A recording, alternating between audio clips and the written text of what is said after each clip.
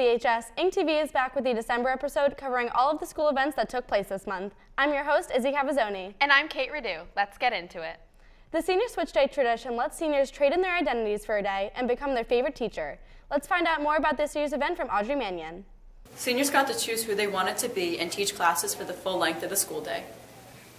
Each senior had varied lessons plans for the day. Each student gave presentations based on the class they taught, others impersonated their teachers, and seniors also created activities and played games with each class. Students even played pranks on the underclassmen like seniors Mark Despigna and Annie Ruoff did as Mr. Gleason. The two Gleasons attempted to trash the freshman hallway, call them down and yell at them, and force them to clean up the mess. Let's hear what Mark Despigna has to say about his plan. Um, it's actually funny because we were at an info session and uh, Miss Morgan was there, and Mr. Gleason was there, and Miss Morgan suggested it, and we took the idea because we thought it would be super funny, and we knew it's something that Mr. Gleason would do himself, so we thought, why not do it when we were being Mr. Gleason?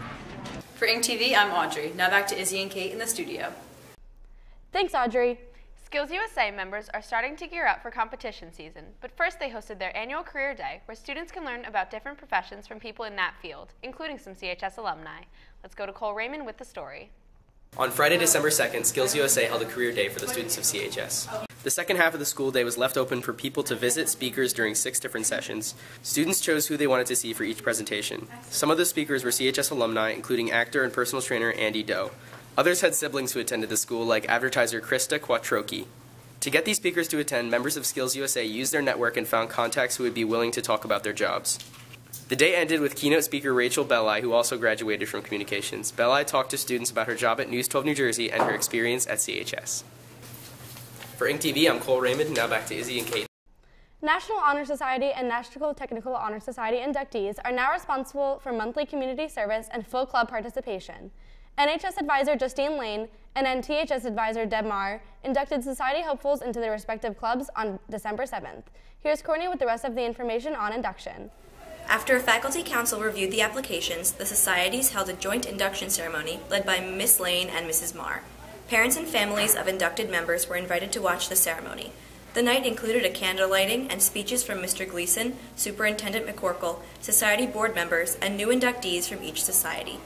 Students applying to the National Honor Society must document a total of 150 hours of service, both in the community and in leadership positions.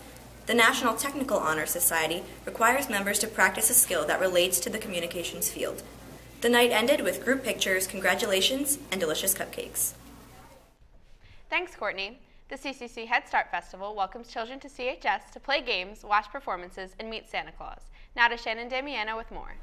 The Cultural Communications Club holds their Head Start event every year, inviting disadvantaged kids from Monmouth County to visit CHS and participate in holiday activities. About 45 students selected from the club based on past involvement participated in the event where students from Lakewood Head Start program enjoy student performances and get to go meet Santa Claus. This year, each Head Start student received a gift of a notebook, Play-Doh, crayons, and stickers, as well as a stuffed toy dog. We asked CCC advisor Sabina Campbell about planning this event. Yeah. Oh, when they come, you know, first they are really friendly. Some of them are afraid, so yeah. we make them feel comfortable, and you know, we kind of follow them. If they want to sit, we sit with them, give them a little time, and then we have performances, and then of course we have Santa Claus, and then they get each one get a, like a, a bag full of gifts and stuffed animal. Last year they were bears, this year they were puppies. This is Shannon Damiano for Ink TV, and now back to the studio. The junior class is responsible for hosting Coffee House each year for students to showcase their talents. The event helps raise funds for the class and invites friends and family to enjoy music, poetry, and much more. Let's go to Dylan Josephson with the story.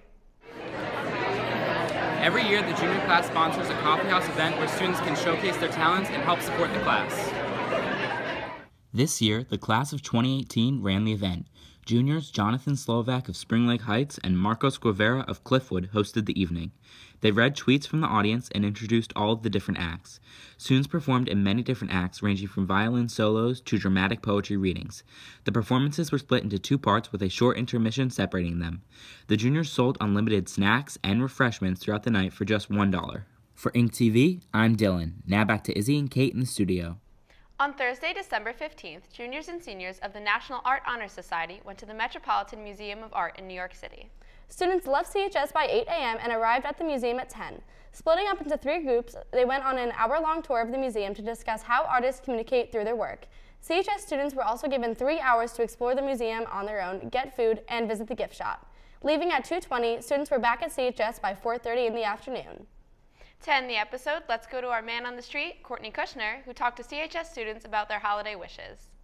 I went out into the halls to find out what CHS students wanted most to receive this Christmas. The best Christmas present would be a promise of lifelong happiness, because that's the only thing that really matters to me is just joy and love, and my friend Dylan.